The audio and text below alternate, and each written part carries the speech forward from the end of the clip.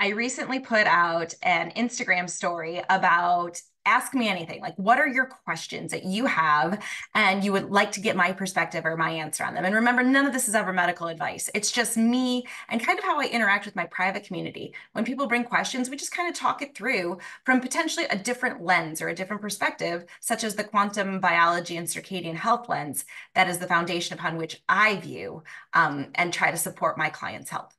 And so one of these questions I'm going to pull up on my phone right now has to do with things like viruses, right? It is why do viruses or bacterial infections like Lyme or EBV affect us and what to fix in the body. And my perspective on this um, has changed quite drastically over the course of the past five years. Um, you know, I used to be a, much more a proponent of killing protocols. So, for example, if a client came to me with something like SIBO, I would say, okay, well, let's get you on an herbal antibi- uh, antimicrobial protocol, right?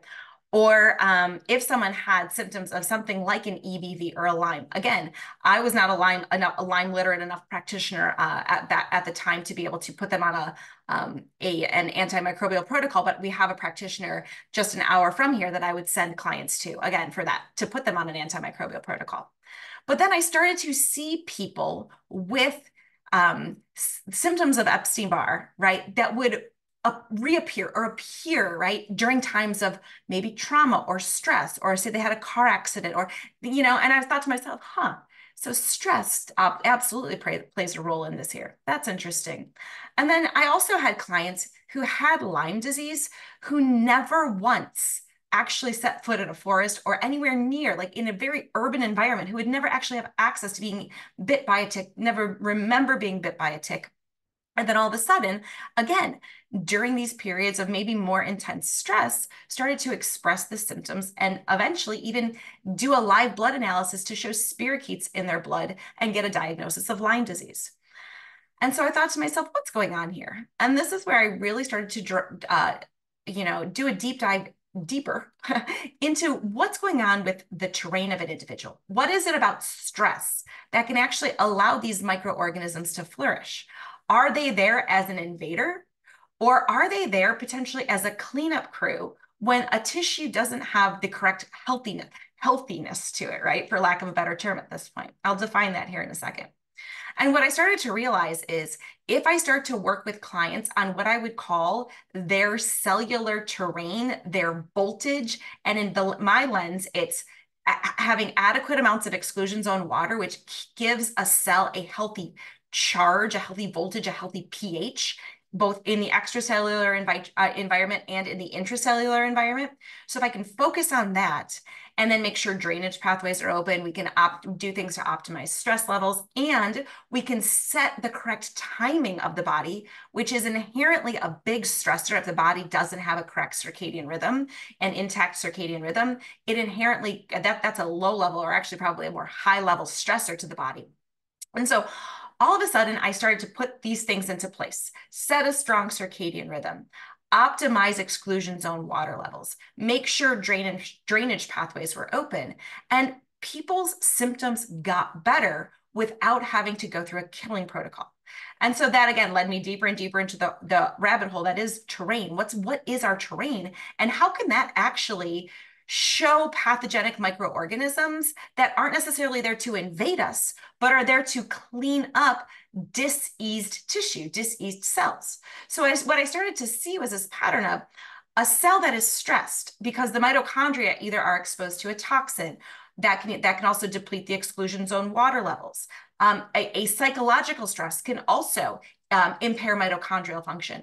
And if the mitochondria are impaired, we're not going to have adequate amounts of exclusion zone water inside of the cell, which will lead to lowered cellular voltage. That leads to a cell that starts to create, that starts to become damaged. And these damaged cells try to secrete these extracellular vesicles into the space around them to try to clear the damage. And then that draws the attention of the immune system. And that also draws the attention of what I would call our cleanup crew now. I don't think that very, I, I rarely think that when we see viruses or when we see bacteria or, or, or what we or parasites in a specific tissue, I rarely think they're there because they've invaded us and they're trying to cause harm. I actually think they're actually just taking opportunity of the fact that there is tissue there unhealthy tissue that they can clear up. So it's a symbiotic relationship of just in the same way that when an animal dies in the woods, there's varying levels of organisms that help to decompose it and then return the soil back to optimum health and vitality. I think the same thing is happening in our bodies. And so I ask when someone has symptoms or has things like um, chronic candida, chronic Lyme, chronic Epstein Barr, I ask myself, what, where might they be exposed to toxins? And those toxins can lower their intracellular voltage. And it's truly the voltage, the exclusion zone water of the cells that determines the health of, and vitality of that tissue.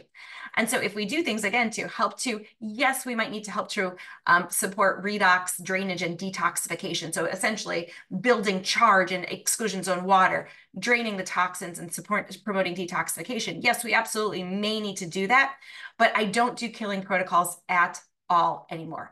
I tackle it from a perspective of what can I do to make sure that this cell and this organ and this tissue has adequate amounts of exclusion zone water so that naturally that cell and that tissue can become healthier again, functioning, functioning again.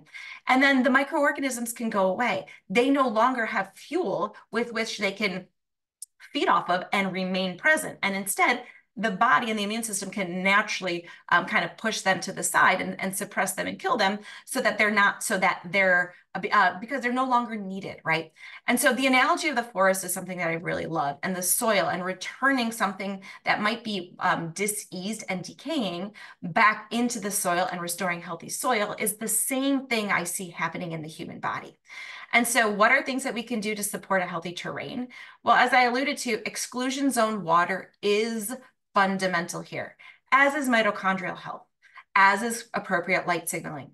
That is why in my quantum reset course, I talk about all of these different things and the many ways you can utilize things like sunlight, things like earthing and grounding, various mitochondrial supports as needed, maybe things like red light therapy, in order to optimize the exclusion zone water and the health of a tissue so that we don't have to worry about going in and doing a killing protocol because if we kill and there's still diseased tissue, there's still dysfunctional mitochondria, something's just going to reappear and be another cleanup crew.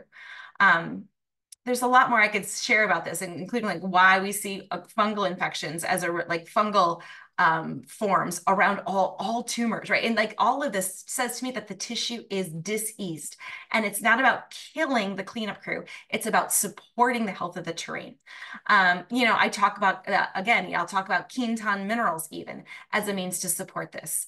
Um, I, talk, I talk about having adequate mineral status in general as a means to support this. And yes, I talk about avoiding toxins, like minimizing the amount of toxins we're exposed to on a daily basis so that those toxins can't get into the tissues in the first place and start to wreak this havoc and create this diseased, dis, diseased cell, this dysfunctional tissue that requires the cleanup crew in the first place. And so, you know, um, I don't I don't I don't treat anything, but at the uh, at the same time, I don't specifically key in and on killing protocols because of these exact reasons. And so, if you've tried that pathway of, well, I've tried the parasite cleanses, I've tried to kill um, the Epstein Barr, and I've tried to kill the Candida. Ask yourself, what purpose might it be serving? And what are things that I could do to support the terrain and the voltage and the exclusion zone water levels of my body and open my natural drainage pathways in case there are toxins in my body so that my body can naturally eliminate those things as opposed to me going in with this killing mentality, thinking that they are trying to invade my body.